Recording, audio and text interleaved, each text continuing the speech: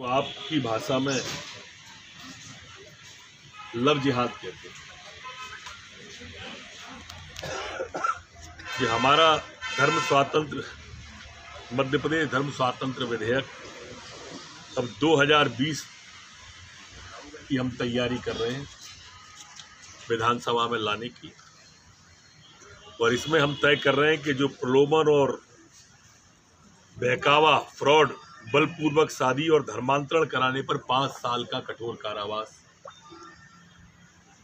इस अधिनियम में हम रख रहे इस हम, इस अधिनियम में अभी यह भी प्रस्तावित कर रहे हैं, ये परमार्जित होगा, विधानसभा में जाएगा, कि यह अपराध संज्ञे, कॉग्निजिबल तथा गैर जमानती, इसे घोषित करें। इसी तरह से प्रलोभन बलपूर्वक, फ्रॉड तथा बहकावे में धर्मांतरण के लिए की गए विवाह को नल एंड वॉइड घोषित किए जाने का भी प्रावधान इसमें हम कर रहे हैं। इस अधिनियम में, इस अपराध को घटित करने वाले, में सहयोग करने वाले व्यक्तियों को भी अपराध घटित करने का मुख्य व्यक्ति की तरह ही आपराधिक सहभागिता माना जाएगा।